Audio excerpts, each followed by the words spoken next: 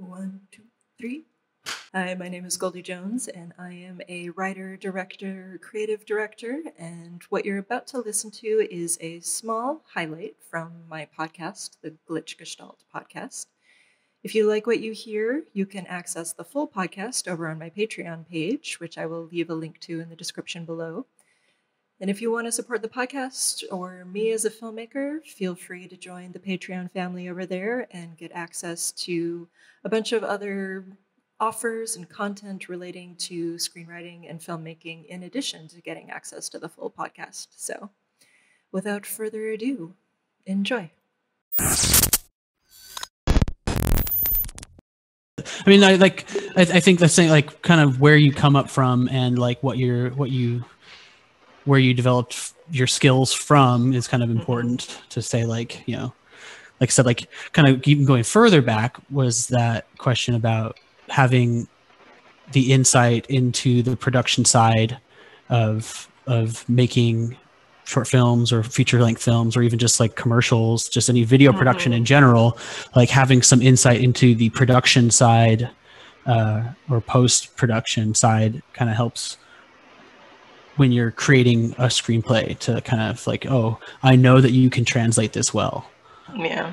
Because uh, I, I run into that a lot with my job where it's, I, I, I do design and I do development. So it kind of helps when I'm doing my design, kind of knowing that what you can and can't do and how well those designs will translate into yeah. Know, an application. You know, even more than like writing and directing, I always say one of the ways to be a better director, to be a better um, director of photography, a, a DP or a camera operator, is to know how to edit.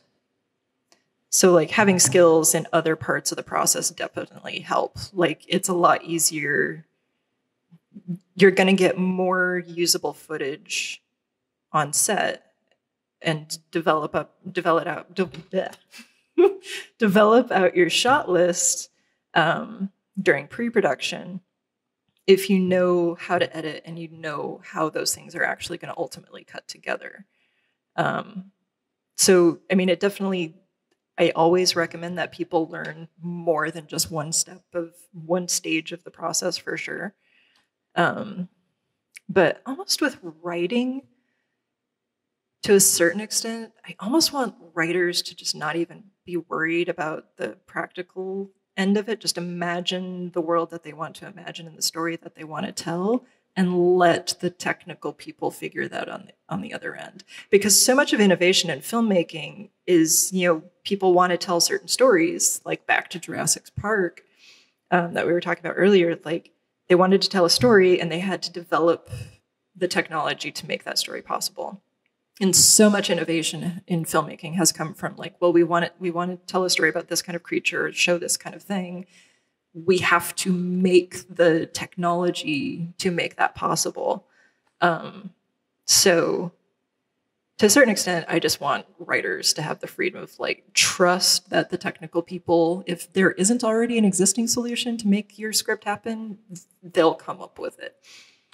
Um, so that's my feeling on yeah, and, and like, it seems like too, you can kind of like if you do, you're if you're in that flow state when you're writing, and you can just focus on the story and not get too hung up on like the technicals of like, oh, can this translate?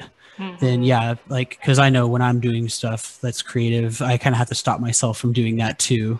Where well, no, like because like I think it, like that that flow state is really important, and that's when you're kind of like at your peak creative and just like doing really really good work mm-hmm. and if you start to think about or like like again like how this is going to translate it just kind of hem- like hampers that state of creativity you can't mm-hmm. really get keep that peak level and you're like kind of just like being too self-critical you know like yeah. go back and fix it but if you're in the zone and you're like feeling good and writing or creating something you like any kind of art i think that like you know just keep doing it and not really get too much in your head about it because mm-hmm. you always go back and edit yeah. it.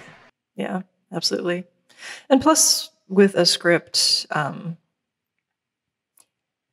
the script that you sell isn't necessarily going to be the shooting script. So yeah. the thing World about right? Yeah, Um, 14, 14 rewrites, and the book's nothing like the movie Yeah. except Brad Pitt. Brad Pitt was in the book. Yeah, Um, he wrote the book. Oh, right. Yeah. Yeah, No. Um, Brad Pitt did not write that book. he did not. Max Brooks did. Yeah, Just, just to be clear, Max Brooks. who I saw at Emerald City City Comic Con one year. Um, anyway, side note. What was I saying? I don't remember what I was saying. You're saying that like it's it's good to just Oh, right. The script is going to continue to evolve as like pre-production happens, and you know, it's it's all an ongoing process. Your script is never finished until the final video is like the final film is delivered. yeah like until it ships. it gets edited and re-edited and re-edited till you start shooting, and then you probably still have rewrites while you're shooting, and then it's going to get completely re-edited in post-production, and then you end up with the final story that gets shipped out, and maybe there's a director's cut later. Like it's it is a living, breathing thing. It's not a, a set in stone by any means at any point. Yeah. How do you how do you like have you have you had like experience with that where something that you wrote and you've handed it off and it's something that you really loved and it's gone through rewrites and it's not necessarily the same product that it was when you handed it off? Like have you ever Oh, had yeah. experience with that? Every single thing I write, Yeah. every single Like thing. it's pretty it's it pretty much never ends up one to one on the other side. No, like Lenore, like the core story is the same, but so much has changed. So much has changed. Um, like it, there have been entire characters and plot lines that are no longer in that script that I'm, I've actually turned into entirely other scripts. Um, but yeah, it's changed so much. It just constantly evolves. Um, and my short film Rage that I just did, um, you know, wrote the script, went through rewrites, did the shoot. Initial edit was an 18 minute short film that was pretty one to one with the script. And then I ultimately re edited it into a 10 minute film and you dropped half of what we had shot out of it and completely like changed the order of the scenes. And it's just completely different.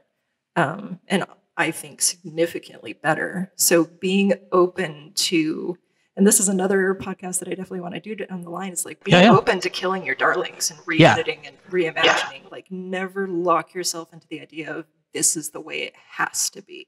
Yeah, because that's what kind of what I was I was kind of asking about was that like I know that because of what I do, it's for someone else. Like they come to me because they can't do it themselves, mm-hmm. But in the end, like it's still I'm creating something for someone else, and I can spend multiple hours making something that I think is beautiful, and I can hand it off and have my client just totally hate it. Um, I mean, that happens very rarely, and so uh, it's but but it does happen. It is Yeah. something that you should be prepared to deal with. Is getting criticism about something that you absolutely love, and you might like said like you know killing your darling or whatever. Like, um, And not even criticism, but feedback. Not even just criticism, but feedback and notes. Like notes isn't criticism. Notes is an opportunity to improve.